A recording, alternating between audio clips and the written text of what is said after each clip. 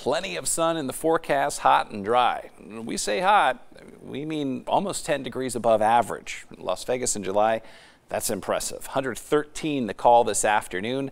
By the end of the afternoon, some south breezes 10 to 20 miles per hour. All that hot air can't help but move around a little bit. 89 right now, 87 in West Henderson, uh, 80 uh, over toward Pahrump and up in Overton. Actually sounds halfway decent.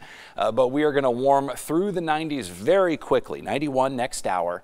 95 at 8 in the morning, 98 at 9 in the morning, and by 10 a.m. we're already sitting in the triple digits. Uh, we're going to be above 105, I think, by lunchtime. So anything you're doing outside, the earlier the better.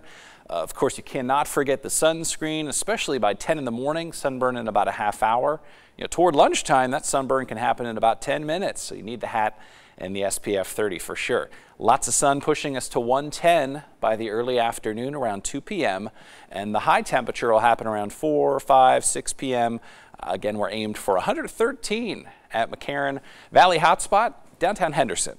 Hits 114, Southern Highlands around 113, and Summerlin even getting above 110. Looks fairly quiet across the desert southwest, of course. No rain chances to pass along, uh, at least not for the rest of the week. Excessive heat warning starts today and it runs through Monday. Temperatures ranging from 113 to 115 across that six day stretch, including a record setting high of 115 on Saturday. Real quick.